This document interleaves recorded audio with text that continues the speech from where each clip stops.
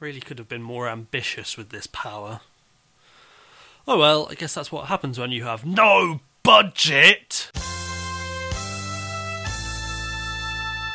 This week, in the continuing saga of you guys being just plain irresponsible with your superpowers, we're all going to get a bad case of the Nightcrawlers, so watch out because if you blink, you'll miss it. These superhero name puns working for anyone? Because I have way too much fun writing them. That's right, you guessed it. This week we get to jump around with the power of teleportation.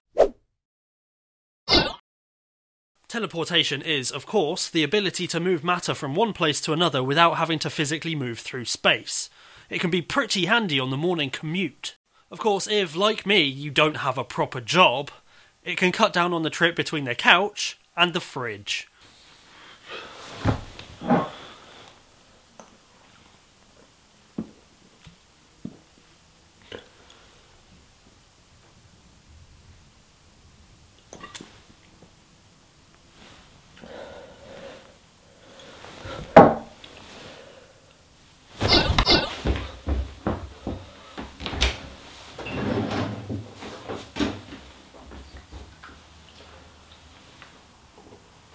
However, it's important to be careful when using teleportation in this manner, as much like telekinesis, it can lead to weight gain.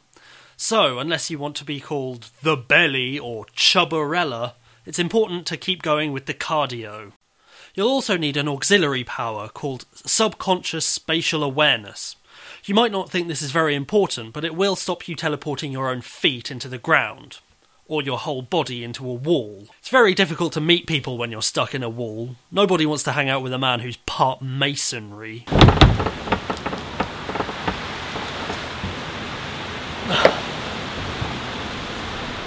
well, this sucks. Other than that, you can feel free to have fun with your newfound ability. Of course, it's better not to think about the fact that technically your body is being destroyed and recombined in a different location, meaning that the you that ends up in your final destination isn't actually the original you, merely a exact molecular copy of the original you, which no longer exists because it has been deconstructed at a molecular level. Because that can lead to one motherfucker of an existential crisis. Who am I?